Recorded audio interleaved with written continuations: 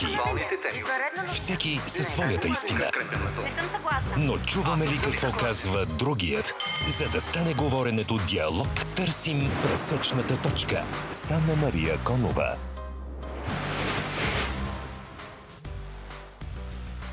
Здравейте, започва пресечна точка. Наближават празниците и се увеличават разходите ни. Коледата ще е различна за всеки според възможностите. Истински лакмус за това как и с колко живеят хората у нас. Темата след малко. Няма ясли за всички деца, но и няма и компенсации. Повод да коментираме какво обещава държавата и общините и какво реално получаваме. И накрая, защо професор Атанас Семов написа писмо до просветния министр, в което твърди, че българските учебници са подложени на баташко клане, а самото то дори не се изучава в час.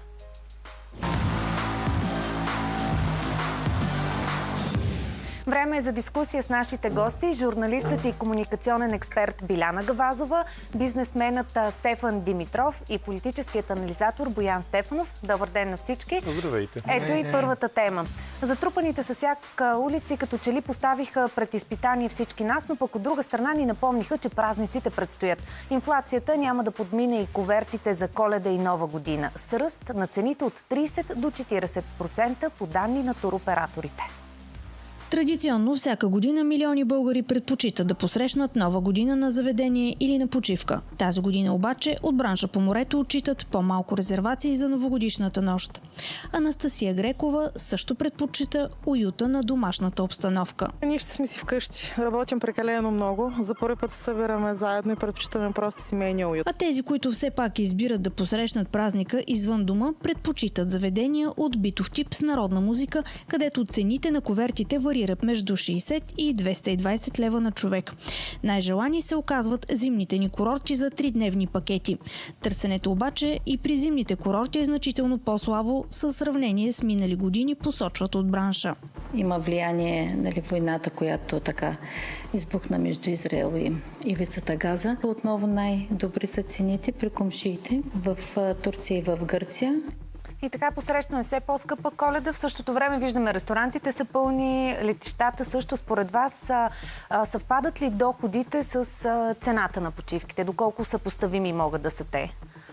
Биляна? Да започвам аз тогава с актуалните данни от и днешната статистика, мога да кажа.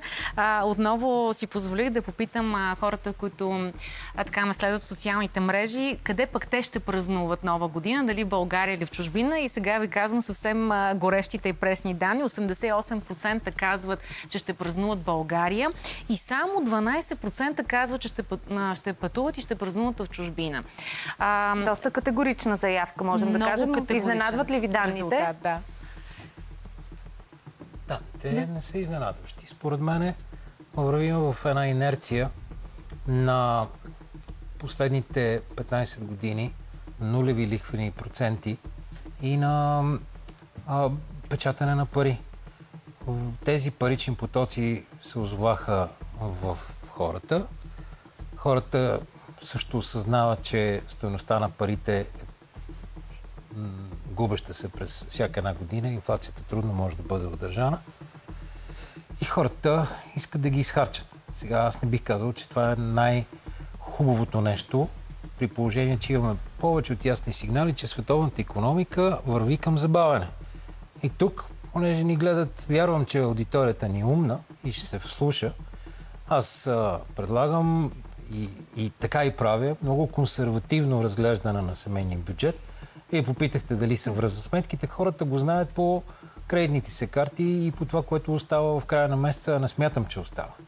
И за това а, сякаш а, трябва да оставим назад и да бъдем далеч по-консервативни към собствените си пари. Показването пред а, хора. За мен, моят избор е домашния уют и тази възможност всички заедно да приготвим нещо, което след това да го изживеем. Най-хубавите неща са безплатни. Така бих казал. Така е, семейния уют с нищо не може да се замени, особено по празниците. Но все пак, какво мислите, Боян? Съвпадат ли си цените с доходите? Между другото, ние оттам тръгнахме, че е много трудно да се генерализира, защото наистина всеки ще прекара празниците според собствения си портфел и бюджета, с който разполага. Аз ще се опитам да дам един малко по-различен ъгъл на гледна точка, но и продължение на, на коментарите преди мен. На мен наистина не ми е много удобно да коментирам цените на пакетите и влиянието на инфлацията върху тях и или на спекулата, при положение, че наистина има много нуждаещи си бедни хора. А, на мен винаги ми се искало нещата да са максимално истински. В крайна сметка на тъй наречената коледа, какво празнуваме ние? Ние празнуваме Рождество Христово рождението на Исус Христос. Исус Христос е фигура, която от нас християните тачена като въплатен Бог. От мюсюлманската общност по света и у нас, от дружеската нам в България мюсюлманска общност, той е тачен като пророк. Това е фигура в човешката история, която е учила на любов към Бога и ближния. Любовта към ближния се изразява не само на думи. Изразява се в подкрепа, най-малкото съчувствие или реална помощ, ако това е възможно. И аз съм убеден, че ако, ако хората се фокусират не само върху цените на пакетите, а, а върху, върху това какво могат да направят за близките си, или за не толкова близките си нуждаещи, ще изпитат изключителна радост. А цената на пакета е висока или ниска, в зависимост от гледната точка. Ако аз завиждам на някой, който може да си позволи нещо, да отиде в Хургада, в Египет или в Дубай, аз не мога, мога да кажа това е скъпо. Но аз може би мога с много по-малко да направя всъщност повече и всички да бъдат по-щастливи. А спекулират ли наистина а, хотелиерите, ресторантьорите с цените по коледа и нова година? По-скоро може би и за нова година, защото наистина коледа си е семейен празник, не много хора пътуват тогава. Аз ще дам малко по-практичната гледна точка, тъй като съм свикнала много често да проверявам цени, да сравнявам. А, направих си труда много бързо, разбира се, без да имам претенциите, че е изцяло коректно и компетентно гледна точка на това, че офертите са страшно много, но едно сравнение за Египет, например, цената за една седмица, 7 нощувки на човек е 1529 лева, докато в България в един спа хотел сега няма да казвам Абсолютно точно произволно къде. Избран, произволно, без никакви сантименти, лични емоции и чувства. Тук имаме цена от 2870 лева за престой от 3 нощувки. И тук не говорим за all inclusive, докато в Египет говорим за all inclusive. Говорим за 4 звездни хотели в двата случая. Сега, всеки може сам да направи някакво сравнение. Е хубаво хората да сравняват, когато избират. А, в случая защо го казвам? Защото е важно да знаем къде и за какво плащаме. Но за да сме максимално точни в сравнението, е много важно да гледаме не само чистата цена, като а, механичната сметка и математиката, колко струва едното и другото, но те трябва да са съпоставими. Тоест, звездите на хотела трябва да са еднакви, трябва да имаме еднакъв брой нощувки, трябва да имаме еднаква база за изхранването, трябва да калкулираме съответно пътни, транспортни разходи, така че понякога се получават наистина малко манипулативни данни, обобщения и изводи, но като цяло, поне според мен, моето мнение е такова, че като че ли нова година, въобще коледно новогодишните празници в чужбина излизат по-ефтино и по-на сметка. Друг е обаче момента, тук, когато говорим за нова година и за коледа, чисто емоционалния момент. Много голяма част от нас търсят уюта, търсят домашната атмосфера и търсят най-вече близките си хора и семейството си. И аз правя абсолютно същото, така че също ще бъда у дома. Аз искам да добавя още разум към това. Коледните и новогодишни празници са пик в а, а, транспортните системи. Да отидеш да се блъскаш по летища. Да носиш далеч по-голям риск от а, провалено пътуване. Да се буташ с колата в а, лоши метеорологични условия или пък добри, да изкарваш време по магистралите. М- лично аз винаги изчаквам и моите приятели, изчакваме периода на празниците, не пътуваме никъде, а след това когато хотелите и магистралите са свободни и по летищата всеки се е прибрал откъдето е Когато дошъл, премине коледната отиваме. еуфория и празничната. И наистина, а, радостта от а, общуването, от радостта от това да бъдете заедно, дали ще бъде на хора от моята възраст или по-млади хора като вас, или млади 18-19 годишни. Аз си спомням на времето радостта на това да направим парти, купон, както наричахме, в апартамента на някого, където родителите са събрали с някой друг, е наистина, и да пуснем хубава музика, е наистина огромна и е напълно съпоставима с Боже мой, много повече от това да отидеш някъде в някой курорт, където ще зъзнеш в неотоп... неотоплена стая и ще изкараш всичките си пари и спестявания. Особено ако си млад човек. Но въпреки това е въпрос на личен избор и много а, хора го правят, а, сами решават как да прекарат празниците. Но как си обяснявате наистина ето сега е това, което а, Биляна ни цитира напълно а, произволно, че а, много често зад граница е по-ефтино, отиваш, виждаш ново място, а пък и обслужването е по-добро. Всеки си прави сметка и пазара ще ги регулира тия неща. Спомняте си как стояха нещата по Черноморието. След всичките безобрази, които се случиха през годините и това, което се нагледахме, особено сега, а, с канализационните тръби навън, с а, ужасните изживяване на хората по време на бедствие, пък и по време на самите почивки, ами то стана ясно. Аз не съм сигурен кой въобще ще отиде по българското Черноморие. Така че всеки, който е направил нещо, с билото заведение или хотел или место за забавление, където той лично не би бил първия клиент, е обречен на провал и така ще бъде. Сега да не забравяме, че българският туризъм генерално има един основен стратегически проблем и той е, че е сезонен. И планинския, и морския. И предполагам, че просто българският туристически бранш с тези цени е принуден от поговорката ден година храни. Сигурен съм, че добавят спекула към инфлацията, както казах преди малко, но пък вижте това, което Биляна каза, че мнозинството българи поред причини ще останат в България, а и аз също залагам на българското здравомислие, че голямата част от нашия народ ще постъпи разумно, няма да се пъне съвсем на самите празнични дни, а както се и показва от вашите репортажи на нова телевизия, ще изберат по-спокойните дни след празниците на по-добри цени. И преди всичко хората започват все по-често да залагат на качеството на услугата. Цената не е сама по себе си фактор. Много по-важно като че ли за потребителите, за всички нас е каква услуга, какво качество на услугата ще получим, каква храна ще ни сервират, колко ще ни бъде комфортно, колко ще ни бъде уютно. И е много важно, все пак, говоряки за пътуването, че имаме пък пък един шанс да видим нови места, да имаме нови преживявания. Това също не трябва да се подценява, така че всички от тези, които искат да пътуват и да прекарат коледно новогодишните празници извън България, със сигурност имат своята мотивация и дори да струва на моменти малко по-скъпо, за тях вероятно е оправдателно. Аз ще ви дам още едно сравнение. 2800 лева коверта, дори 1000 лева коверт на човек.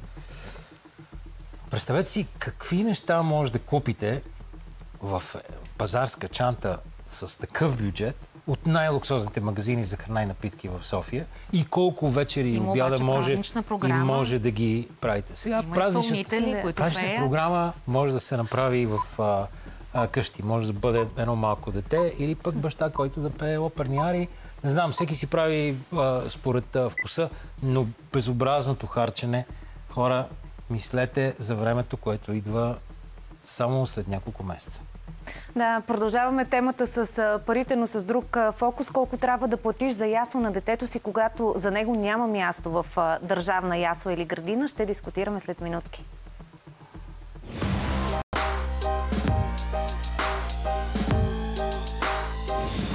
Обратно в студиото време е за втората ни дискусия. Родители, чието деца не са прияти в ясли и градини, от близо половин година не са получили компенсациите си от държавата. Сумата е в размер на 430 лева и би трябвало да се изплаща месец за месец.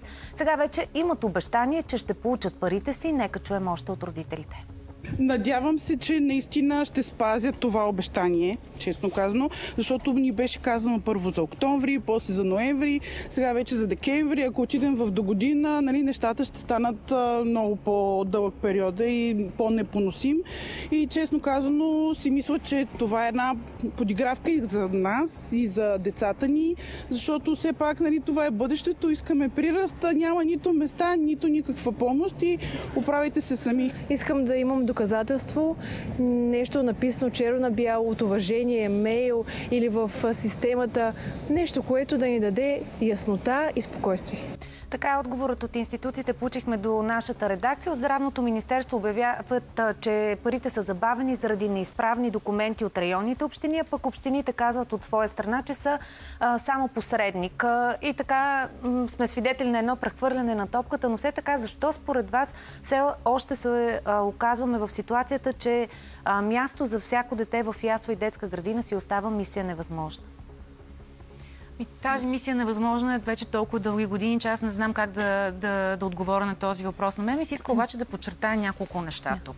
Тази сума от 430 лева, само да кажем, че е една малка част от сумата, която реално тези родители, които нямат шанса, нямат късмета а, да, така, да, да имат място за децата си, а, плащат е, може би, в реалния си размер около 1000, 1100-200 лева. Така че това е само процент от сумата. А, отделно а, трябва да кажем също така, че по такъв начин са разпределени детските градини в София, че има цели райони в София, в които няма детски градини. И какво се получава? Има приток на деца и там, където имаме шанса да имаме детски градини, както е в моят квартал, например в Гоце Делчев, близо до Южния парк, ние имаме чудесни градини, чудесна детска градина близо до моя дом и се оказва обаче, че деца, чието прозорци, чието дворове на домовете им гледат към детската градина, остават без място в детската градина, защото деца от съседни квартали просто биват насочвани там. Тези деца нямат вина. Родителите им също нямат вина. Това е обаче непропорционално разпределение на местата. И освен, че трябва да се строи, трябва да се строи умно, трябва да се строи разумно. И не само по една детска градина на квартал, защото така трябвало, а ако трябва в някои квартали ще се строят по две, по три, по пет, в зависимост от това каква е концентрацията на населението, на младите на семейства, на децата, както се случва Това в южните... въпросът е, че няма терени, на които да се построят, защото вече са, инфраструктурата е такава каквато е. Така е, няма терени, но проблема е в това, че дори там, където има, местата не стигат за децата, които са съвсем близо до самите заведения. В този случай, който видяхме с родителите, кой според вас е отговорен и защо се стига до такива налепи ситуации, за да с половин година да не си получават парите семейства, които, както Биляна каза, са жизненно важни, макар и да са частичен процент от разходите, които правят? Вижте, това е саботаж. Това е саботаж от години наред. Години наред столична община, предишния кмет Обещаваха, че този проблем ще бъде решен веднъж за винаги. Сега и новите управници обещават. което исторически, като историческа оценка, част историческата оценка, това, че тези хора не ги яни за нашите деца. И че са били във властта с други цели. Но не и заради децата. Това е ужасно. Вместо да в тези 15-18 години да направят София привлекателна за деца, да се обърне внимание на проблема с а, отрицателен географски приръст, ние чухме само единствено обещание. Така че лесно ще разберете един човек от това как се отнася към децата, а за това какъв тип човек. Сега, те на думи всички кмета, хубави неща кмета, обещават. Но... Кметът Терзиев, понеже обсъждаме проблема в столицата в момента, застъпи преди две седмици. И за мен е много очевидно е мъжко момче, защото той не се оплаква. Както преди Фандъкова Борисов, говореше почти до края на първия си мандат, че и във втория, за тежкото наследство от тройната коалиция, от всички, които са били преди него и така нататък. Добре, в програмата на Терзиев пише, пък и в програмите на останалите членове, партии членове на, на СОС, пише, че ще има внимание към децата. Пиар грешка е, че не се об, об, обяснява, че саботажи ще има те ще бъдат най-различни. Ще бъдем и улиците задръстани от а, кофи за буклук. Ще има много спорове, тъй като става въпрос за ново пренасочване, по-справедливо на а, паричните потоци. А, но в същото време и ден не може да се губи. Не само защото трябва да се реши съществуващия проблем, защото София трябва да стане град на младите, да бъде изграден около младите, от най-малките до 25-30 годишна възраст да го припознаят и да останат тук. Това е голямата цел и в тази посока трябва да се работи. И задължително да се обяснява една предишна токсичност по отношение на най-важните неща. Децата, въздуха, нежеланието за абсолютно никакви реално свършени неща. Yeah. Моето мнение е по-нюансирано, защото наистина до сега управлявалите общината не са се умели да се справят с този проблем момента ръководството на столична община е обновено след изборите, но аз мисля, че самата община е в мъртва хватка. Защото поради демографски в голяма степен економически колапс на част от страната, на провинцията, десетки хиляди души всяка година идват към София. Разбира се, мнозина от тях са млади хора, които създават семейства, раждат се техните деца. Те са били изкушени да си купят ново жилище в някои от новостроящите се райони, тип Кръстова вада, тип Манастирски ливади. ливади. Там, разбира се, частните собственици на земите, за което остана и въпрос преди мъничко, а, не са склонни да продават на по-ниска цена от пазарната, защото те биха могли да продадат и на строителен предприемач. Но общината, независимо от нейното управление, се налага да изкупи този имот за обещетение. И по този начин цената на новострояща се детска градина става горе-долу двойна. Наплива към града смятам, че обективно е бил по-голям от скоростта, с която общината е била в състояние да строи детски градини и се опасявам, че този процес може да продължи. И да осветля още един аспект. Има регулации в Закона за устройство на територията, които са спорни по отношение на стандартизацията на детските градини, ограничението на брой деца в група. А, взимане предвид, че не винаги всички деца в една група посещават. Може би, ако се либерализира точно този подход, може да се открият повече места, но това са технически решения. Аз вярвам, че едните и другите трябва да намерят воля, а, да се справят с този тука, проблем. Тук отчасти не съм съгласен. Защото има ли желание, има ли приоритети, нещата се случват. И точно за този период от 2007 година до, а, до днес, до, до преди година, София беше залята с европейски пари за благоустройство. И ние, и управата на София даде приоритет на корупцията. Кмета предишния живее в манастирски ливади и там той няма тротуари. Разберете какво внимание е отделено на корупцията и колко назад са оставани децата. Искам да обърна внимание вижте... обаче на нещо друго, което също ми се струва важно да бъде подчертано. Знаете ли, проблема с местата е само един аспект на много големия иначе въпрос около местата в детските градини и в яслите. Само да подчертая като майка, като родител на 8 годишно дете, че най-голяма недостига е дефицита в яслите. Там е убийствено, там е война, там корупцията цъфти, защото наистина няма места. Но, най-вероятно е персонала, ли, защото знаете за да се отвори детска какво градина? е жена на 70 и 5 години да гледат 30 деца цял ден. Това беше в а, детската градина на сина ми, в неговата група и аз го казвам с възхищение към тази жена и с огромна мъка в сърцето си, че всъщност ние като държава и като, като не знам, образователна система или като, а, като а, социално ангажирани хора не успяваме да мотивираме младите хора, да им дадем достатъчно пари, достатъчно възможност да се развиват, за да искат да отглеждат нашите деца. 70 годишни хора гледат децата в яслите и в детските градини, защото просто нямаме друг избор. И това е много важна тема, защото това са хора, които са на предела на силите си и е много важно, освен да има места в детските градини, да имаме и качествен персонал, който да се грижи за тях. Защото носите Аз... голяма отговорност. Точно така. Аз се добавя. Липсата на лидерство направи така, че България от 2004 година няма ясно разписана национална цел. Ние бяхме разписали 2004 за вече за влизането в Европейската, Европейския съюз и ние 20 години ние нямаме цел, защото политическата класа не може да роди лидери, които да поставят. Зоната. Не, това са средства. Това са средства. Това не може да бъде една национална цел. Едно, сред... Едно средство. Оставете я нея а, за, за, за друго предаване.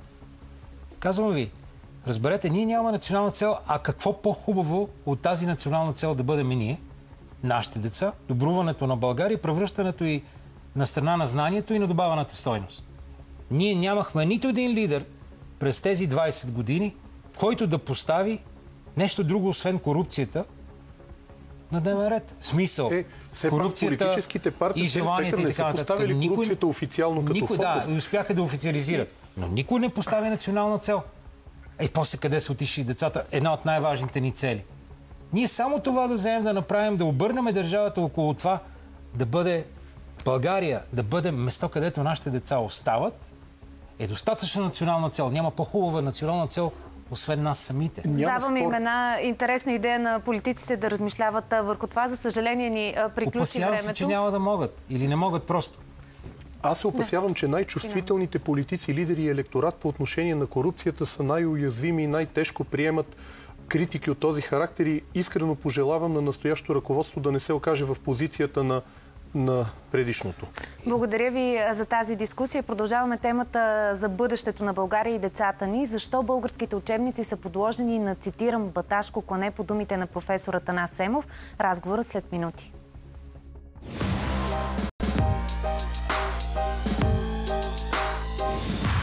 Пресечена точка продължава. Нашите учебници са истинска епопея на забравените. Тези тежки думи написа професор Атанас Семов в отворено писмо към просветния министр. Защо? Ще разберем от него. Той е в нашото студио и нашия гост. Здравейте и добре дошли. Здравейте, благодаря ви за поканата. Позволих си, че казвате тежки думи, защото внимателно прочетох писмото ви а, и наистина оценката ви е сурова. А, казвате, че българските учебници са подложени на баташко клане. Защо наистина смятате така?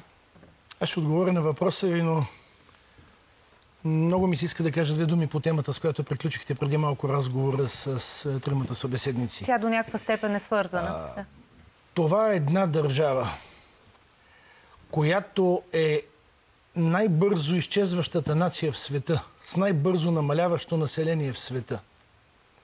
Да не може да осигури детски градини за и без това малкото си деца е управленско престъпление коштунствено, безчинствено и абсолютно недопустимо е държавата да не може да се справи с един толкова, в крайна сметка, лесно решим въпрос, като въпроса за детските градини там, където те не достигат, не достигат Например, София, но не само в София. А както разбрахме, и се забавят обещетенията, което, които всяко семейство трябва да получи за това, че държавата не му осигурила място за неговото дете. На всичкото отгоре. Да. Държава, която не може да осигури детска градина и училище за децата си, е обезглавена държава. Поне до Това е държава резултат да. на някакъв вид политическо баташко клане. Същото виждаме и по отношение на образование. Да, понеже казахте за училище, до училището поне децата имат достъп, но казвате пък, че има проблем в начина по който а, те се възпитават и образоват в училището, където е основното Имаме няколко място. огромни проблема в българското образование. Единия, разбира се, най-очевидният, най-големия е самия образователен проблем. Той има, условно казано, две измерения. Едното е свързано с патриотичното образование – патриотичното образование е изхвърчало от българското училище по подобие на хвърковатата чета, която не се споменава в учебниците. И за това си позволих не просто да напиша писмо до министъра на образованието, но и да посоча в това писмо, че Министерство на образованието нарушава закона за предучилищно и училищно образование, в който една от основните цели на училищното образование е насърчаване на изучаването и утвърждаването на националната памет и българската национална идентичност. Това е изискване на средното образование, което не е изпълнено в учебните програми, по които учат нашите деца. Тези учебни програми противоречат на закона. И вече си мисля, че може би трябва да се направи следваща крачка. Каква да, да се поиска от административния съд да отмени решенията с които тези учебни програми са одобрени. И учебниците написани. Но знаете, много често чуваме и от родители, и от преподаватели, че материал е написан сложно, че трябва да се намери подход, по който да, да се учат децата. И наистина, когато говорим за тези предмети, вие конкретно говорите за история, български язик и литература, география, как да се преподава този материал, как да се учат децата на патриотизъм в днешното ни време, когато, знаете, се е променило и откакто аз съм била ученичка и откакто вие сте бил ученик. Как, как да се преподаде това на децата, така че наистина да, да остане в тях този заряд и патос към Именно държавата като се изпълни за ръката на закона, образованието да бъде подчинено на задачата да формира патриотично ангажирани личности, да формира граждани с национално самосъзнание. Как Това, обаче което нашите учебни програми правят, е да обезродяват българските деца. Давал съм множество примери, ще посоча само един, който е красноречив. По учебния предмет родинознание в първи и втори клас, учебната програма не съдържа нито веднъж думата родина или думата отечество. Там се говори за правилата за пресичане на улицата, но не и за родината в предмета родинознание. И така и до 12 клас. Аз Учебниците са огромни, препълнени с ненужна информация, от която детето не може да запомни важното, а истински, съдбовно важните за националната памет имена личности, събития, дати са представени крайно бездушно, с а, пухкави и нищо не казващи на никого, особено на едно неориентирано дете, думички и са, повтарям, удавени в излишно много съдържание. Учебника за 10 клас е реални хиляда страници. По история. По история хиляда страници. Хиляда стандартни страници по 2000 знака. То е 200 хиляди знака. Моят учебник беше доста по-кратък по история в 11 клас. Ако да, децата, спомням, разбира се, живеят в информационно общество. Разбира се, в момента е, достъпа до информация и способността да се борави с информация е променена в сравнение с преди 50 или 100 години. Но ключовите послания, завършващ ученик, да не знае кога е бил златния век, или в по-ново време да не знае кой с кого е ли, воювал е през Втората световна... Виждам го в аудиторията във втори курс в Софийския университет. Половината студенти във втори курс не знаят кой с кого е воювал Втората световна война, за да разберат оттам нататък логиката на създаването на европейския интеграционен процес. Декларацията от 9 май 50 година. Датата 9 май не им говори нищо. А тук само проблема в учебниците, както са написани, или в начина по който и преподават учителите, защото те така или иначе не са възпитавани по тези учебници, които се слагат на чина пред децата. Казвал съм за да им много обяснят пъти, кой е Левски, кой е българските Ботев. учители работят въпреки своето министерство. Те постигат резултати, въпреки това, което Министерството и учебните програми изискват от тях. Да, учителя със своя дух, със своята свяст може да даде на детето, но не може да му даде онова, което учебната програма не изисква или не позволява. А ми писаха много учители, че по семинари методични за подготовка на учебната година са предупреждавани да не говорят за баташкото клане, за възстанията, за еничарството, за дишхака, за да не се насажда омраза. Кой това е абсолютно това? криво разбрана. Умишлено ли според вас се изкривяват учебници? За мен вече няма съмнение, че това е умишлено прокарвана политика в продължение на три десетилетия. Хайтов започна да пише по този въпрос през 91-92 година. Много ми се иска обаче да поставя и още два въпроса, които формулирах ясно в призива си към министъра на образованието, само че сега тези два въпроса искам да ги отворя и към министрите на вътрешните работи и на здравеопазването. Единият е свързан с съществуващата в закона, но абсолютно нарушавана забрана да се продават цигари и алкохол на деца под 18 годишна възраст. Пратете една камера в което искате магазинче, край което искате училище. Да видите, че няма отказ за цигари и за алкохол на деца. Това е доста притеснително, ако е така, както казвате. След Второто, този въпрос да. идва втория, защото употребата на цигари и алкохол е първата крачка към употребата на наркотиците. По данните, с които разполагам, България е на едно от първите места по нарастващ процент деца, които започват да употребяват наркотици. Какъв е Включително нарастващ Да, да. вече към 15 в края на учебната, училищната възраст до към 20% от децата поне са опитвали наркотици. Чувате ли, уважаеми родители? Ако сред вас има петима родители на ученици, едно от вашите пет деца е употребявало поне веднъж наркотици. И нека да не се утешаваме, че евентуално става дума за тревичка. Тревичката или марихуаната или канабиса е ключа към вратата на страшните наркотици.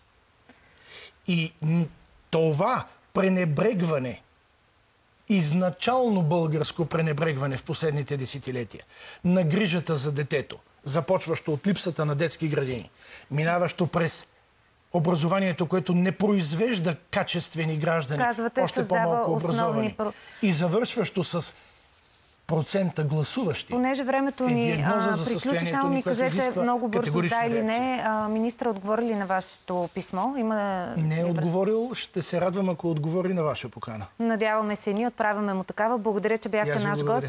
Така се разделяме за днес. Ще се видим отново утре след новините в 16. Успешен ден от целия ни екип.